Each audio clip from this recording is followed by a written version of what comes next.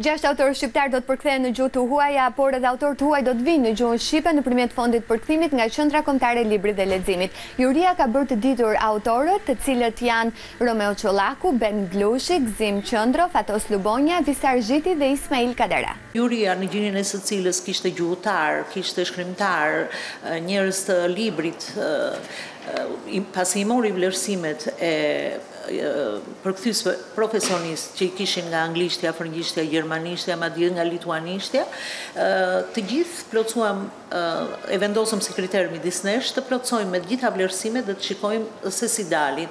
Dhe ishim pak a shumë të gjithë njësoj me ato vlerësimet tona. Mjaltë në teh, i Romeo Çollakut do të përkthehet në italisht, Otello, arapi i Vlorës, i Ben Blushit do të përkthehet në greqisht nga Jorgos Goumas, Mateo Mandala do të përkthejë në italisht Rrugët e Ferrit të Visar Zhitit, Ridënimi i Fatos Lubonjës do të përkthehet po ashtu në greqisht nga Elena Zhako, e cila do të përkthejë edhe Gëzim Qëndron me Heronjtë janë të uritur, ndërsa në shqip do të vijnë autorë si Kazuo Ishiguro, Izabel Allende, Uilliam Follkner e të tjerë. Përkthimi është sa mjeshtëri është dhe mision.